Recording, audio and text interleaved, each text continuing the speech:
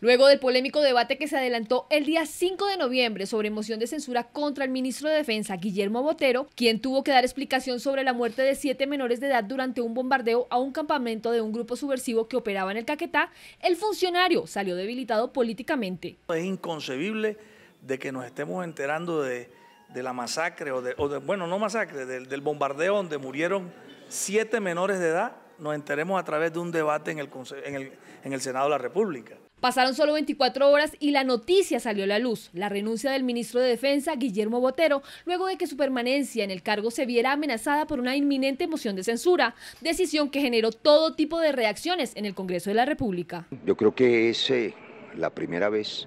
por lo menos en mucho tiempo, que el Congreso se empodera y hace un fuerte llamado de atención al gobierno, diciéndole que hay que reconducir la agenda nacional, porque los colombianos no sienten que hay agenda ni que hay gobierno, pero no puede quedar allí.